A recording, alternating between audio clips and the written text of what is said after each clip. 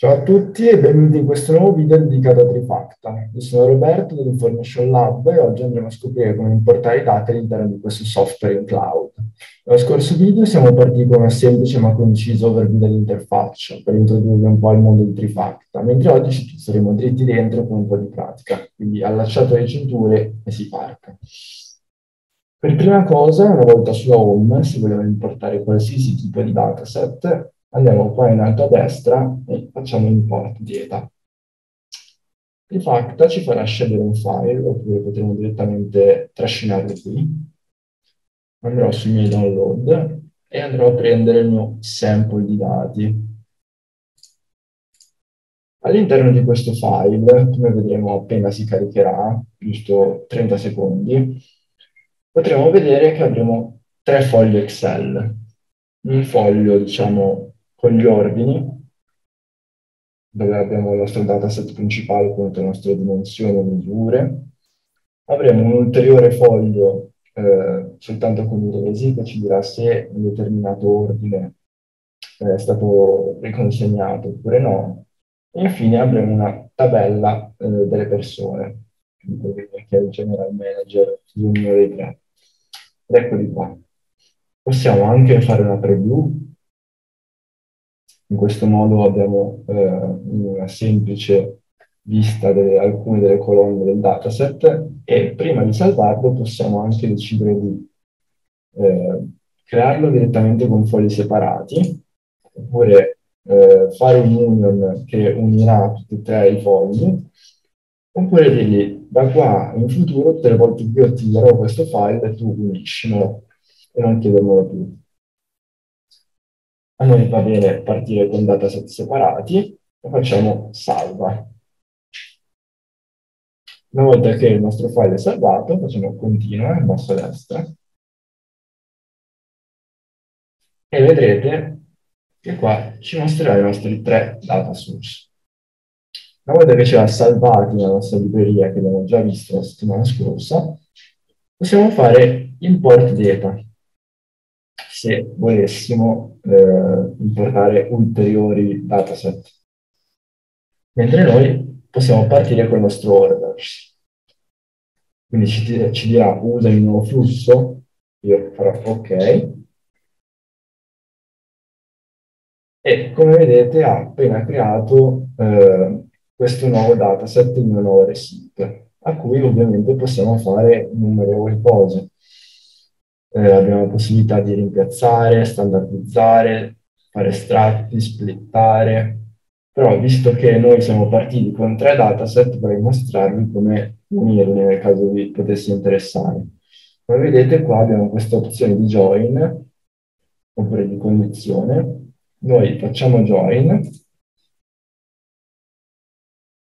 Qui possiamo eh, partire da sample che si trovano già in, qua dentro, puoi andare su All Datasets e decidere qua quali ci interessano, a noi, a me, a noi interessano i returns, facciamo accetta,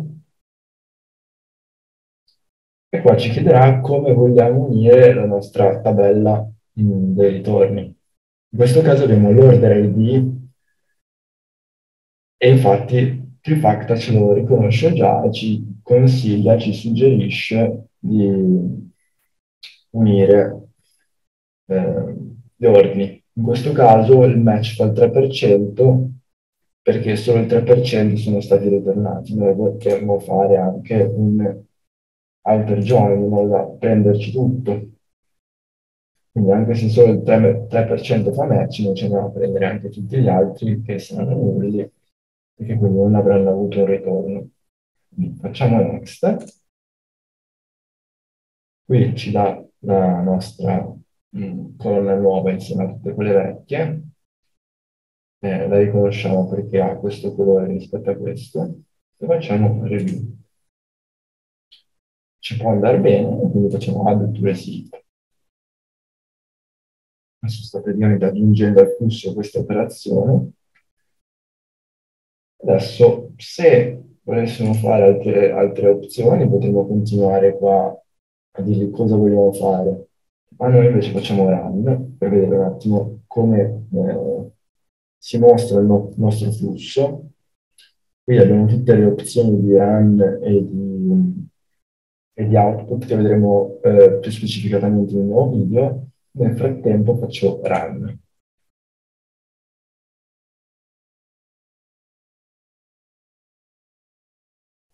Perfetto.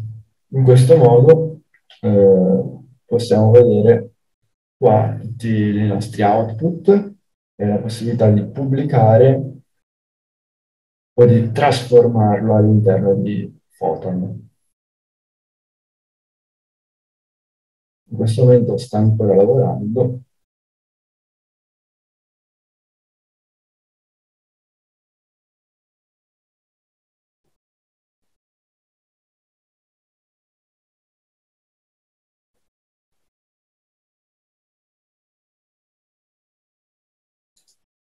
Qui inoltre abbiamo la possibilità di vedere oltre alla overview anche le destinazioni di output, il profilo stesso nostro, eh, diciamo legato al dataset che abbiamo creato, il grafico delle dipendenze, che era quello che volevo farvi mostrare fin dall'inizio, ossia eh, il modo in cui abbiamo unito il nostro dataset iniziale col dataset dei ritorni, qua ci mostra il join fatto e infine l'output. E infine le data source che abbiamo usato. Inoltre potremo anche scaricare il profilo che abbiamo visto prima come PDF o JSON nel caso eh, ci venisse chiesto di mostrare qualche dato eh, più approfondito. Ecco. Quindi torniamo alla overview e come possiamo vedere eh, il lavoro è stato completato, quindi se noi adesso tornassimo eh, sui nostri flussi, vedete che è stato creato il nostro bel flusso nuovo.